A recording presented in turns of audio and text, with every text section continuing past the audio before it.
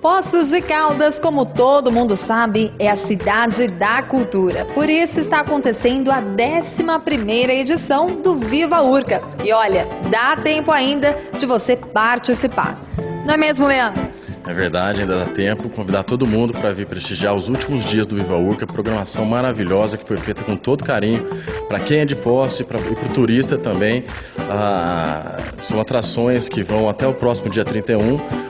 Hoje com o Gabriel Guerra, amanhã ainda tem o Giovanni Braz também, que é o Caixeiro do Riso, o Saideira da Praça Nossa, e domingo encerrando com um espetáculo maravilhoso com o Zé Alexandre encabeçando o espetáculo, que é a PRH3, a Rádio Pouco Moco, para encerrar de forma brilhante o Viva Urca 2016. E os ingressos podem ser adquiridos aqui mesmo, no próprio local? Sim, existem alguns pontos de venda antecipados.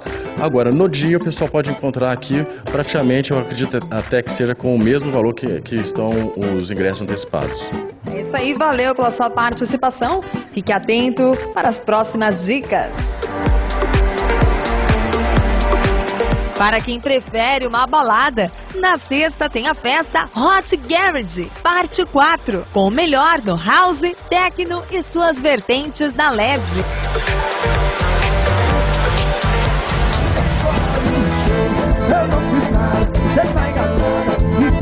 No sábado tem Vitor Miranda também na LED, com o melhor do sertanejo. Se a gente ficar junto,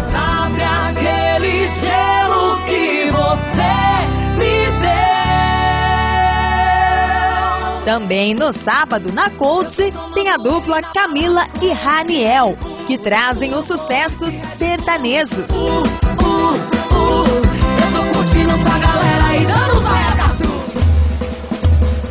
Ainda no sábado tem baile de máscaras no Palace Cassino, resgatando os bailes tradicionais com o repertório dos carnavais dos anos 30 e 40 até os dias atuais, tendo como objetivo reviver e resgatar a música de qualidade e as danças dos bailes nos mais tradicionais salões do Brasil, com a banda Swingari.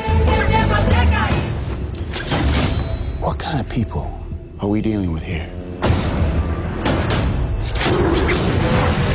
A set of perps with a very unusual skill set. E nas telonas tem estreia do filme Caçadores de Emoção, Além do Limite. Filme de ação com alta carga de adrenalina. Criminal masterminds. just kids partying away their lives. We can get these guys. I just need more time.